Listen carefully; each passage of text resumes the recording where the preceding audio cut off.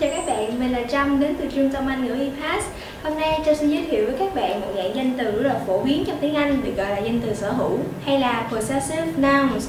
Nghe cái tên thì có vẻ lạ nhưng Trâm tin chắc rằng các bạn đã từng thấy ra qua loại danh từ này rồi. Bằng chứng là mình có thể nhìn vào ba ví dụ sau đây.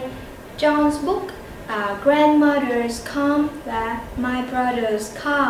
Uh, một điểm chung ở trong ba ví dụ này các bạn có thể thấy đó chính là danh từ thứ nhất uh, John, grandmother, brother đều được thêm sau thêm ở phía sau là một dấu phẩy với trên là một chữ S. Như vậy các bạn có thể gọi những danh từ này là danh từ sở hữu. À, người ta dùng danh từ sở hữu trong câu để nói về mối quan hệ sở hữu giữa hai đối tượng mà đối tượng đầu tiên được à, đại diện bởi danh từ thứ nhất à, là chủ sở hữu và đối tượng thứ hai đại diện với danh từ thứ hai là vật bị sở hữu. Như vậy thì để hiểu rõ thêm chúng ta hãy phân tích cái ví dụ đầu tiên. John's book à, các bạn thấy rằng danh từ thứ nhất John ở đây là chủ sở hữu và danh từ thứ hai book là vật bị sở hữu. Như vậy đó chính là cuốn sách của John.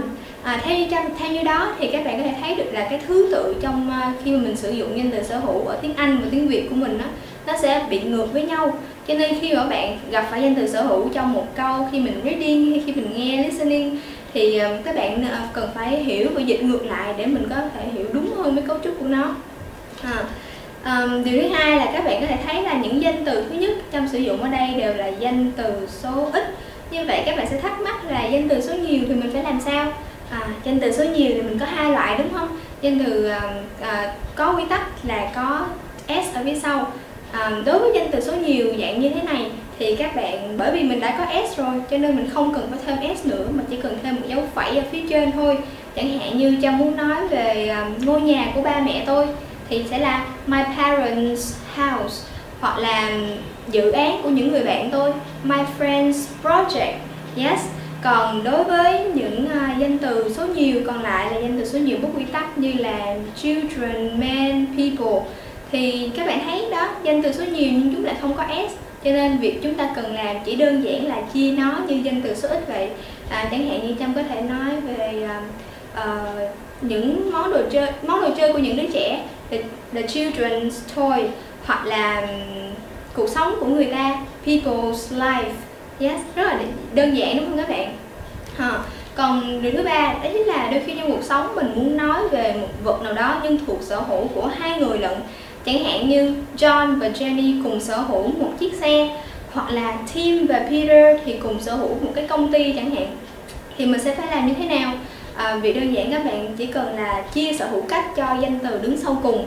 Như vậy thì đối với trường hợp của ờ, John và Jenny cùng sở hữu một chiếc xe mình có thể có một câu là một một cụm từ là John and Jenny's car.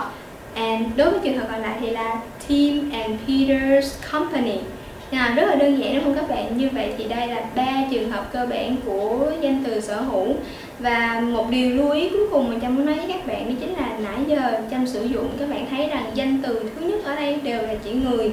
Cho nên Trâm muốn nhắc với các bạn là à, đối với danh từ sở hữu và sở hữu cách thì chúng ta chỉ nên dùng cho chỉ, chỉ nên giới hạn dùng cho người thôi.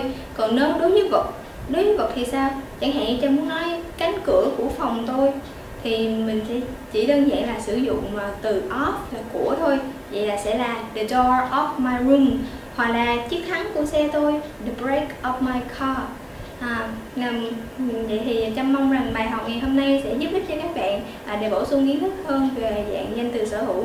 À, nếu các bạn thích bài học này thì hãy like and subscribe để có thể à, theo dõi hơn nhiều bài học bổ ích cho tiếp theo. À, cảm ơn các bạn.